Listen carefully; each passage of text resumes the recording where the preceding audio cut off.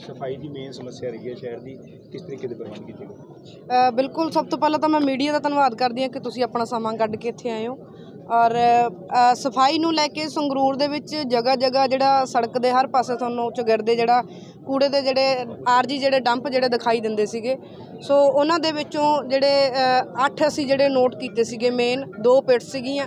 8 ਦੇ ਵਿੱਚੋਂ 6 ਜਿਹੜੇ ਅਸੀਂ ਕੂੜੇ ਦੇ ਜਿਹੜੇ ਆਰਜੀ ਡੰਪ ਨੇ ਜਿਹੜੇ ਉਹ ਖਤਮ ਕਰ ਚੁੱਕੇ ਆ, ਤਕਰੀਬਨ ਦੋ ਰਹਿ ਗਏ ਆ। ਔਰ ਜਿਹੜੀਆਂ ਪਿਟਸ ਨੇ ਉਹਨਾਂ ਨੂੰ ਵੀ ਸਾਡੀ ਕੋਸ਼ਿਸ਼ ਆ ਕਿ ਅਸੀਂ ਇਹਨਾਂ ਨੂੰ ਅਗਲੇ 2 ਮਹੀਨਿਆਂ ਦੇ ਵਿੱਚ ਵਿੱਚ ਅਸੀਂ ਸ਼ਹਿਰ ਤੋਂ ਜਿਹੜਾ ਬਾਹਰ ਲੈ ਕੇ ਜਾਈਏ। ਔਰ ਇਹਦੇ ਲਈ ਸਾਨੂੰ ਸਭ ਤੋਂ ਜਿਹੜੀ ਜ਼ਰੂਰਤ, ਸਭ ਤੋਂ ਮੇਨ ਸੀਗੀ ਸਾਡੇ ਕੋਲ ਵਹੀਕਲ ਦੀ ਜਿਹੜੀ ਜ਼ਰੂਰਤ ਸੀ ਕਿ ਜਿਹੜੇ ਸਫ਼ਾਈ ਕਰਮਚਾਰੀ ਨੇ ਜਿਹੜਾ ਕੂੜਾ ਕਲੈਕਸ਼ਨ ਆ ਜਿਹੜਾ ਉਹ ਘਰ ਘਰ ਤੋਂ ਜਾ ਜਾ ਕੇ ਜਿਹੜਾ ਹਰ ਇੱਕ ਘਰ ਦੇ ਵਿੱਚ ਉਹ ਕੂੜਾ ਜਿਹੜਾ ਕਲੈਕਟ ਕਰਨ। ਸੋ ਉਹਦੇ ਲਈ ਜਿਹੜਾ 10 ਜਿਹੜੇ ਟਾਟਾ ਐਸ ਨੇ ਅੱਜ ਜਿਨ੍ਹਾਂ ਨੂੰ ਹਰੀ ਝੰਡੀ ਦਿੱਤੀ ਗਈ ਹੈ ਪੰਜ ਜਿਹੜੇ ਟਾਟਾ ਐਸ ਹੋਰ ਜਿਹੜੇ ਸਾਡੇ ਕੋਲ ਅਗਲੇ ਜਿਹੜੇ, ਆ, ਇੱਕ ਮਹੀਨੇ ਦੇ ਵਿੱਚ ਵਿੱਚ ਜਿਹੜੇ ਸਾਡੇ ਕੋਲ ਆ ਜਾਣੇ ਆ। ਸੋ ਮੈਂ ਹੁਣ ਸ਼ਹਿਰ ਵਾਸੀਆਂ ਨੂੰ ਜਿਹੜੀ ਬੇਨਤੀ ਕਰੂੰਗੀ ਕਿ ਮੈਂ ਮੈਂ ਤੇ ਮੇਰਾ ਜਿਹੜਾ ਨਗਰ ਕੌਂਸਲ, ਸਾਡੇ ਐਸਡੀਐਮ ਮੈਡਮ ਔਰ ਜਿਹੜੇ ਸਾਡੇ ਸਫ਼ਾਈ ਕਰਮਚਾਰੀ ਨੇ ਉਹ ਤੁਹਾਡੇ ਘਰ ਘਰ ਤੱਕ ਆਉਣਗੇ।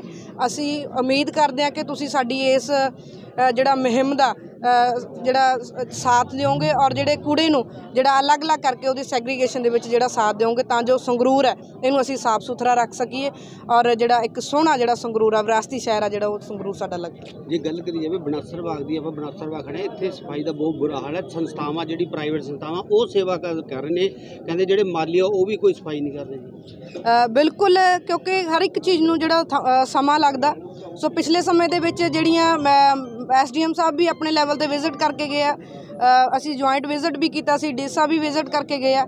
ਸੋ ਜਿਹੜੀਆਂ ਕਮੀਆਂ ਨੇ, ਅਸੀਂ ਨੇ ਉਹ ਸਾਰੀਆਂ ਨੋਟ ਕਰਕੇ ਉਹਦਾ ਜਿਹੜਾ ਐਸਟੀਮੇਟ ਆ, ਜਿਹੜੀ ਪ੍ਰਪੋਜ਼ਲ ਬਣਾ ਕੇ ਅਸੀਂ ਭੇਜੀ ਆ। ਔਰ ਬੜੀ ਜਲਦੀ ਜਿਹੜਾ ਉਹ ਸਾਨੂੰ ਸੀਐਮ ਸਾਹਿਬ ਦੇ ਵੱਲੋਂ ਉਮੀਦ ਹੈ ਕਿ ਬੜੀ ਜਲਦੀ ਉਹ ਸਾਰਾ ਕਲੀਅਰ ਹੋ ਜਾਣਾ। ਸੋ ਇਹਨੂੰ ਸੰਗਰੂਰ ਦਾ ਜਿਹੜਾ ਵਿਰਾਸਤੀ ਜਿਹੜਾ ਬਾਗ ਹੈ ਬਨਾਸਰ ਬਾਗ ਜੀ ਦਾ ਨਾਮ ਹੈ ਮੈਂ ਤਾਂ ਇਵਨ ਕਿ ਇਹ ਵੀ ਕਹਿੰਨੀ ਆ ਕਿ ਇਹਦਾ ਨਾਮ ਸਿਰਫ ਬਨਾਸਰ ਬਾਗ ਰਹੇਗਾ ਬਾਗ ਦੇ ਨਾਮ ਤੇ ਇੱਥੇ ਬੂਟਾ ਜਿਹੜਾ ਫਲਦਾਰ ਕੋਈ ਵੀ ਨਹੀਂ ਹੈਗਾ। ਸੋ ਉਹਦੇ ਵਿੱਚ ਵੀ ਸਾਡੀ ਕੋਸ਼ਿਸ਼ ਆ ਔਰ ਬੜੀ ਜਲਦੀ ਜਿਹੜਾ ਇਹਨੂੰ ਅਸੀਂ ਇਹਦੀ ਨੁਹਾਰ ਜਿਹੜੀ ਬਦਲਣ ਜਾ ਰਹੇ ਹਾਂ। ਜੇ ਗੱਲ ਕਰੀਏ ਦੂਜੇ ਪਾਸੇ ਤਾਂ ਆਵਾਰਾ ਪਸ਼ੂਆਂ ਦੀ, ਆਵਾਰਾ ਪਸ਼ੂ ਆਏ ਦਿਨ ਐਕਸੀਡੈਂਟ ਹੋ ਰਹੇ ਨੇ ਪਰ ਉਹਦੇ ਕੰਨੀ ਕੋਈ ਕੇਅਰ ਨਹੀਂ ਹੈ ਗਊਸ਼ਾਲਾ ਵਾਲੇ ਉਹਨੂੰ ਰੱਖਦੇ ਨਹੀਂਗੇ ਬਿਲਕੁਲ ਉਹਦੇ ਵਿੱਚ ਜਿਹੜੀ ਇੱਕ ਸਮੱਸਿਆ ਸੀਗੀ ਕਿਉਂਕਿ ਦੇਖੋ ਚੰਗਾ ਨਹੀਂ ਲੱਗਦਾ ਔਰ ਬਹੁਤ ਸਾਰੇ ਜਿਹੜੇ ਸੰਗਰੂਰ ਦੇ ਵਿੱਚ ਜਿਹੜੀਆਂ ਘਟਨਾਵਾਂ ਇਦਾਂ ਦੀਆਂ ਵਾਪਰੀਆਂ ਨੇ ਕਿ ਜਿਹੜੀਆਂ ਅ, ਢੱਠੇ ਨੇ ਜਿਹੜੇ ਆਵਾਰਾ ਜਿਹੜੀਆਂ ਗਊਆਂ ਨੇ ਉਹਦੇ ਕਰਕੇ। ਔਰ ਇੱਕ ਜਿਹੜੀ ਪਿੱਛੇ ਜਿਹੇ ਜਿਹੜੀ ਡਿਸੀਜ਼ ਸੀਗੀ ਲੰਪੀ ਸਕਿਨ ਦੇ ਕਾਰਨ ਜਿਹੜਾ ਇਹਨਾਂ ਨੂੰ ਬੰਦ ਕਰ ਦਿੱਤਾ ਗਿਆ ਸੀ ਕਿ ਇਹਨਾਂ ਨੂੰ ਫੜ ਕੇ ਕਿਤੇ ਇਕੱਠੇ ਕਰਦੇ ਆ। ਤੇ ਹੁਣ ਉਹਦੀ ਜਿਹੜੀ ਵੈਕਸੀਨੇਸ਼ਨ ਦਾ ਸੀਗਾ ਉਹ ਆਲਮੋਸਟ ਜਿਹੜਾ ਡਿਸਟ੍ਰਿਕਟ ਦੇ ਵਿੱਚ ਜਿਹੜਾ ਕੰਪਲੀਟ ਹੋ ਗਿਆ। ਉਸ ਤੋਂ ਬਾਅਦ ਆ ਜਿਹੜਾ ਇਹਦਾ ਡੀਨੋਟੀਫਾਈ ਜਿਹੜਾ ਹੋ ਜਾਣਾ ਇਹ ਜਿਹੜੀ ਡਿਸੀਜਨ ਨੂੰ ਲੈ ਕੇ ਉਹ ਡੀਨੋਟੀਫਿਕੇਸ਼ਨ ਦੀ ਜਿਹੜੀ ਵੇਟ ਦੇ ਵਿੱਚ ਆ ਕਿ ਉਹ ਜਿਹੜੀ ਵੈਕਸੀਨੇਸ਼ਨ ਦਾ ਜਦੋਂ ਹੀ ਕੰਪਲੀਟ ਹੁੰਦਾ ਤਾਂ ਡੀਨੋਟੀਫਿਕੇਸ਼ਨ ਹੋ ਜਾਣਾ। ਉਸ ਤੋਂ ਬਾਅਦ ਅਸੀਂ ਜਿਹੜਾ ਇਹਨਾਂ ਨੂੰ ਫੜ ਕੇ ਜਿਹੜਾ ਗਊਸ਼ਾਲਾ ਦੇ ਵਿੱਚ ਚਾਹੇ ਸੰਗਰੂਰ ਆ ਚਾਹੇ ਝਨੇੜੀ ਅਸੀਂ ਇਹਨਾਂ ਨੂੰ ਜਿਹੜਾ ਇਹਨਾਂ ਦਾ ਪੁਖਤਾ ਪ੍ਰਬੰਧ ਕਰਕੇ ਕੈਟਲ ਕੈਚਰ ਲੈ ਰਹੇ ਹੋ।